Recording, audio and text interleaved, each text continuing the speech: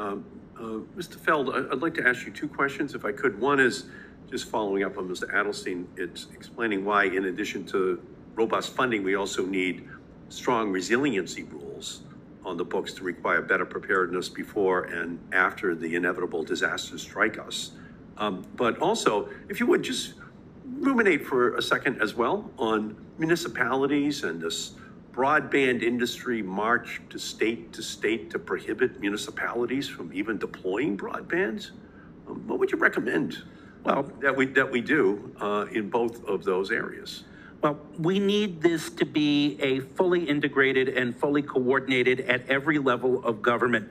Uh, I uh, have recommended in my testimony that uh, the uh, federal uh, legislation preempt uh, these state laws and not simply uh, in the case of building out municipal networks, which are critical, but also so that networks can, state and local government as well as the federal government can make assets available in time of emergency as backup. There is oftentimes plenty of fiber in the ground to provide backhaul or plenty of spectrum that is going fallow, uh, that is held uh, by federal agencies or by state uh, um, and local governments, and they should be encouraged to put those to productive use, particularly in times of crisis. Are we in a paradoxical situation where many of these municipalities might have acted the- themselves and there's a state law that the broadband companies have that prohibit them from uh, acting on their own? And now we're passing federal legislation to provide funding that the broadband companies want to use in order to go in to solve a problem that the municipalities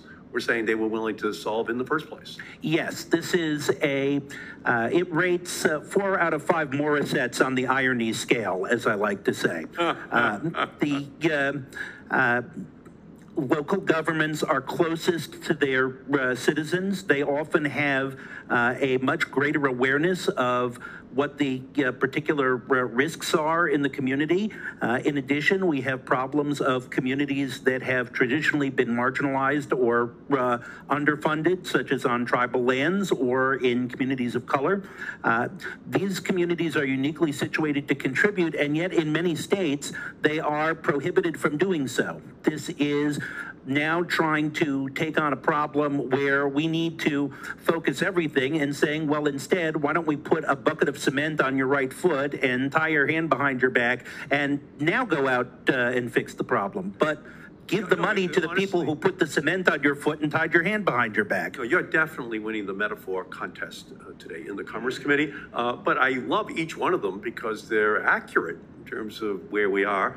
And, uh, and I guess all I would say is if you can, in 10 seconds, just say, do you believe we need strong rules on resiliency to make sure that it gets done? We absolutely need rules on resiliency. It's not going to happen on its own, and we have 10 years of evidence, 20 years of evidence now to prove it. Beautiful, thank you.